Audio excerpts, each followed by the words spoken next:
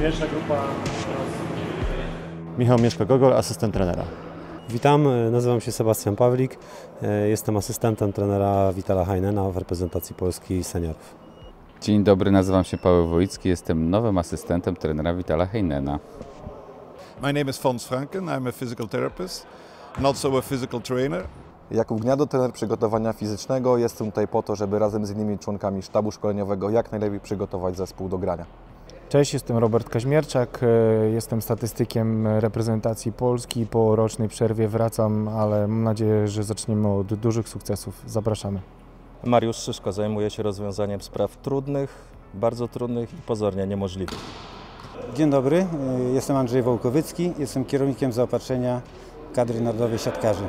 Mateusz Kowalik, fizjoterapeuta. E, Będę odpowiedzialny za zdrowie zawodników w obecnym sezonie. Witam wszystkich, Tomasz Pieczko. E, Będę ponownie fizjoterapeutą na kadrze Polski.